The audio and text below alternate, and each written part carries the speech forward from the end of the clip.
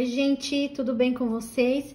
Gente, hoje eu vim fazer um sabonete maravilhoso aqui no meu canal Dicas da Vida, que é um canal, nosso canal, né, gente? Porque é para todas vocês que merecem um canal que tenha variedade de dicas maravilhosas e receitinhas poderosas também para vocês, tá?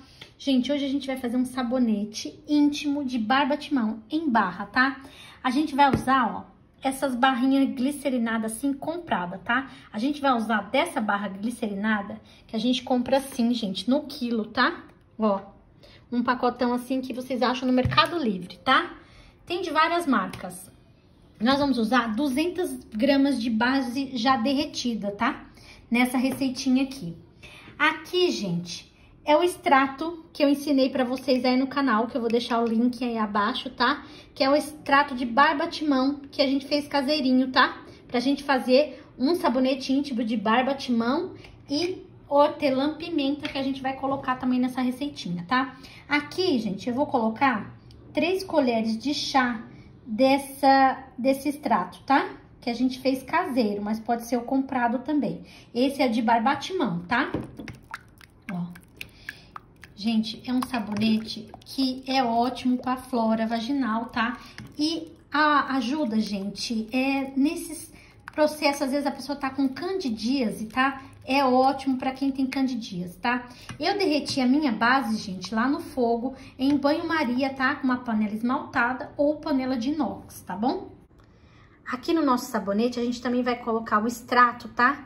Também é, glicerinado, esse aqui, gente, a gente vai colocar uma tampinha de extrato de aveia, tá? Que também vai ajudar na hidratação, tá bom? Deixa eu só fechar aqui pra não vazar, que tá vazando um pouquinho aqui. É o extrato glicerinado, tá? Esse é compradinho, tá? Que eu comprei no Império do Banho. Agora, gente, a gente vai colocar aqui, ó, 10 gotas de óleo de hortelã-pimenta, tá? Esse óleo, gente, é óleo essencial, tá? Que é pra dar uma refrescância na hora que você vai usar o seu sabonete, tá? tá? Que fica maravilhoso. Olha.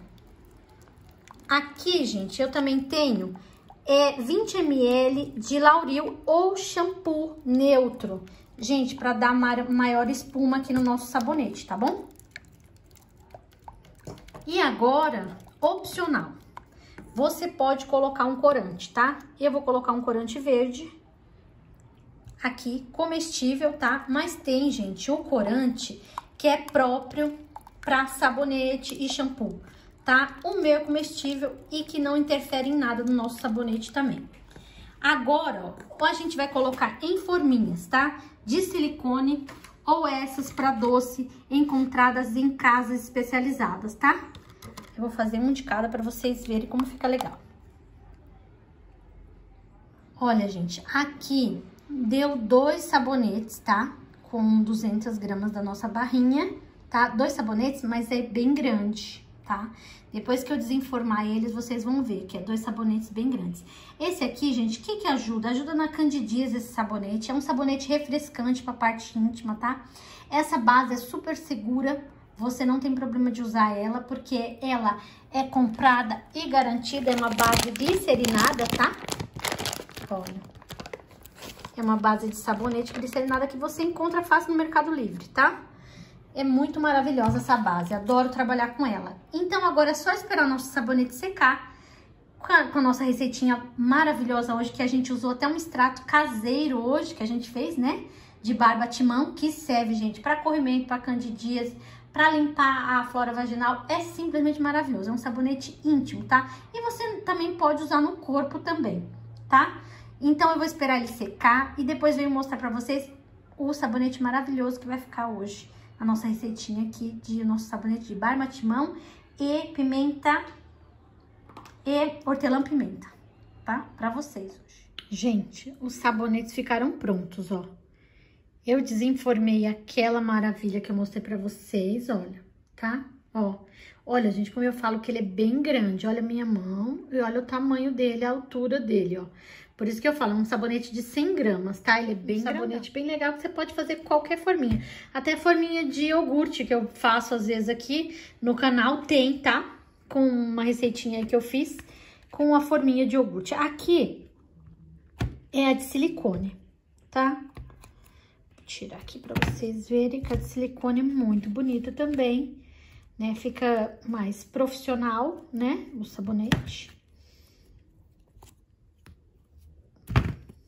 Ó, porque a silicone é, tem várias no mercado, né, gente? Que vocês possam comprar. Vai ser muito boa. O sabonete seca muito rápido também com a de silicone, tá? Então, tá aqui, ó, o nosso sabonete. Ficou lindo, olha, gente. Tá? Olha que lindo. Um sabonete de barba-timão com é, hortelã-pimenta, que é para dar uma refrescância, tá? Eu coloquei extrato de aveia também, para dar a nossa hidratação, né, gente, na pele, que fica super legal, tá? Barbatimão, gente, é para candidíase, ajuda no processo anti-inflamatório, tá? Grávidas não podem usar, tá, gente? Porque é um sabonete mesmo que é só pra quem não tá grávida, né? Então, a gente pode usar à vontade, tá? Quem não tá grávida, tá bom? Olha, gente, que lindo, ó. Bem altão esse sabonete, olha. Tá? Muito lindo. Essa é a minha receita que eu deixo para vocês. A dica que eu deixo para vocês hoje de fazer um sabonete super natural, tá?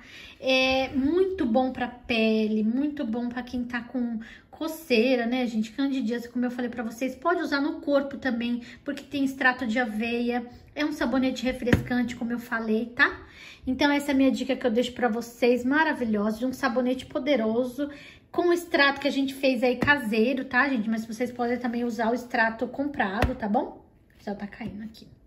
E vocês podem usar o extrato comprado também, tá? Que é a mesma coisa, tá bom? Essa é a minha dica que eu deixo pra vocês. Se vocês gostaram, deixa um like. Se inscreva no nosso canal, tá bom, gente? Que eu volto trazendo mais coisinha fácil e maravilhosa pra vocês.